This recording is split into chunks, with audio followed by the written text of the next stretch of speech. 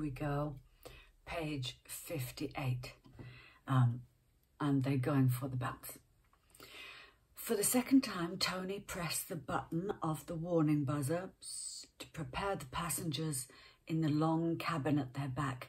Now for it, yelled Captain Clifford. Brace!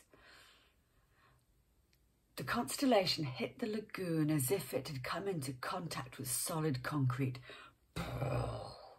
The giant plane skidded forward, shuddering from stem to stem, with the great bow waves arcing up high above the cabin windows. Bodies were pressed forward into safety belts and then back again into foam cushioned seats. That's not so bad, that bit.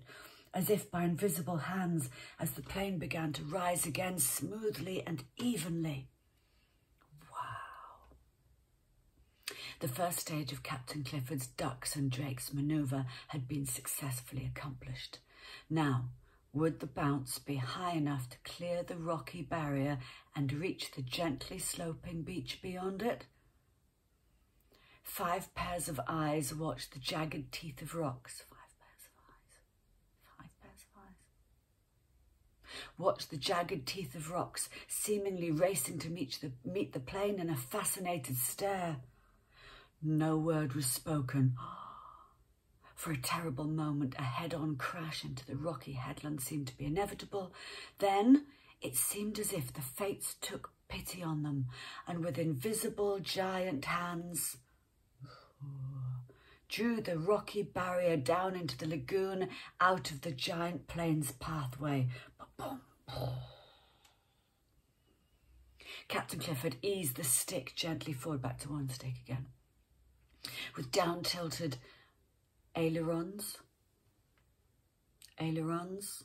No idea. The constellation began its gentle descent to its last resting place. That sounds tragic. Now it was a yellow beach and feathery coconut palms that were tiding, riding, sorry, smoothly up to meet her.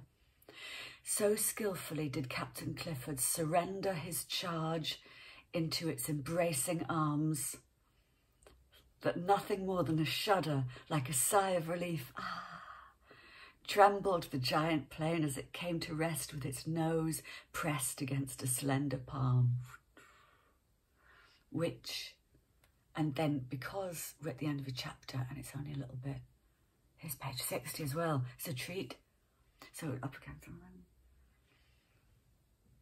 Which shed, oh, which said, so up against the tree, boom, which shed its ripe coconuts down on it from its feathery fronds like welcoming tears. Boof, boof, boof, boof, boom, boom, boom, boom, boom. So, ba-dum, ba-dum, that's the, that's the soundscape before that. Um, before the last coconut had thudded down onto the cowling in front of the flight deck, Tony Luckworth had unclasped his safety belt. Nice work, skipper, he cried. Permission to leave. Flight deck, Roger. Permission granted, retorted Captain Clifford with a sympathetic smile.